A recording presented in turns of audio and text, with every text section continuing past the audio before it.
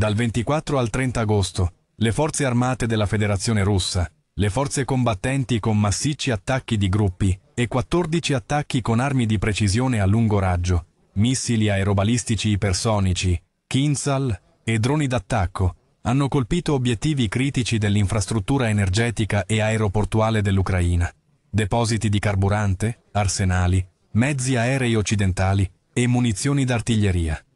Inoltre, sono stati colpiti i reparti di produzione di droni, depositi di imbarcazioni senza equipaggio, punti di dislocazione temporanea delle unità delle formazioni nazionaliste e dei mercenari stranieri.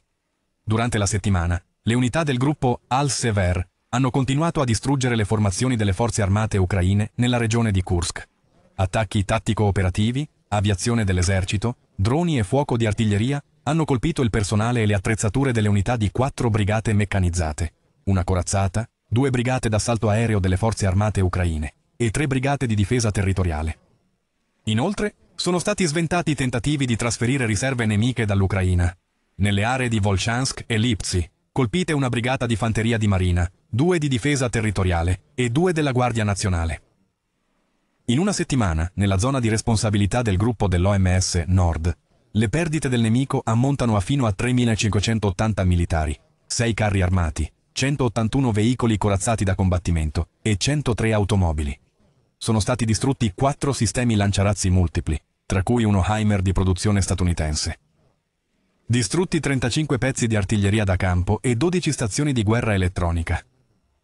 Grazie alle azioni coordinate del gruppo Ovest, sono stati liberati Stelmakovka nella Repubblica Popolare di Lugansk e Senkovka nella regione di Kharkiv.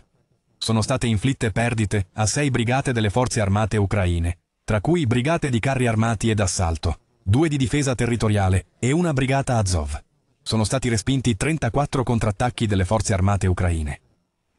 L'avversario ha perso, in questa direzione e in una settimana, oltre 3.450 militari, due carri armati, 11 veicoli corazzati da combattimento, tra cui 3 M113 APC americani, 51 veicoli.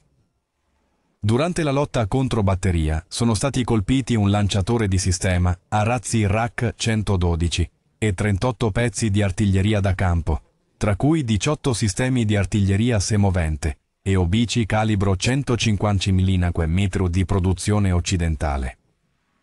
Sono state distrutte 16 stazioni di guerra elettronica e controbatteria, nonché 18 depositi di munizioni da campo. Unità del gruppo meridionale hanno liberato l'insediamento di Konstantinovka nella DNR con azioni decisive. Colpite tre brigate meccanizzate, due di fanteria motorizzata, due di fanteria, una aeromobile, quattro d'assalto e due di difesa territoriale ucraine. Respinti cinque contrattacchi del gruppo d'assalto nemico.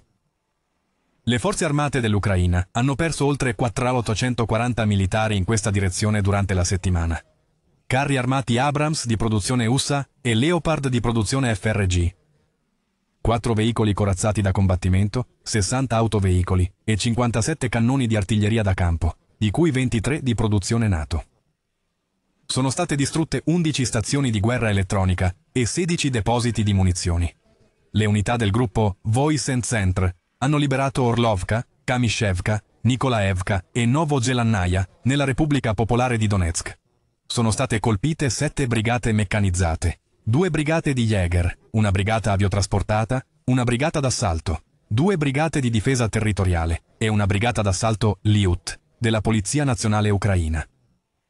Respinti 50 contrattacchi delle unità armate ucraine. Durante la settimana, in questa direzione, il nemico ha perso circa 3.620 militari, 7 carri armati, e 14 veicoli corazzati, tra cui un Marder tedesco e due M113 americani. 38 veicoli, un sistema di lancio Grad e 42 pezzi di artiglieria campale.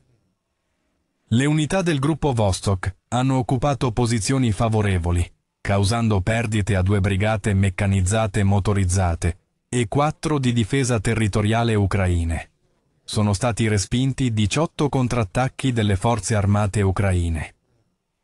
Il nemico in questa direzione ha perso fino a 860 militari, 7 veicoli corazzati da combattimento, 43 autoveicoli, 11 pezzi di artiglieria campale, tra cui 7 obici semoventi da 155 mm e howitzer di fabbricazione occidentale, nonché 4 stazioni di guerra elettronica. Dalle unità del raggruppamento Vosnepa sono state inflitte perdite significative alla fanteria, brigata d'assalto di montagna, due brigate di fanteria di marina e una di difesa territoriale ucraine.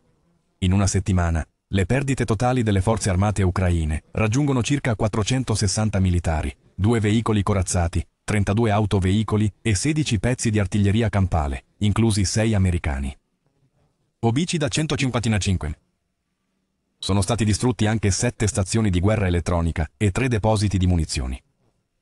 Con i mezzi di difesa antiaerea, durante la settimana, è stato abbattuto un aereo MiG-29 dell'aeronautica ucraina, tre missili tattici Atacom di fabbricazione statunitense, quattro missili tattici Tochka-U, 19 bombe guidate, Hammer fabbricate in Francia, 31 razzi HIMARS fabbricati negli Stati Uniti e 311 droni, di cui 127 fuori dalla zona dell'operazione militare speciale le forze della flotta del Mar Nero hanno distrutto sei barche senza equipaggio ucraine.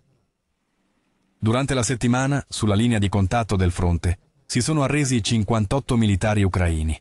Dall'inizio dell'operazione speciale sono stati distrutti un totale di 641 aerei, 283 elicotteri, 30.601 droni, 575 sistemi missilistici antiaerei, 17.783 carri armati, e altri veicoli corazzati da combattimento. 1431 veicoli da combattimento del sistema a razzo a lancio multiplo. 13.809 cannoni di artiglieria da campo e mortai. 25.847 unità di veicoli militari speciali.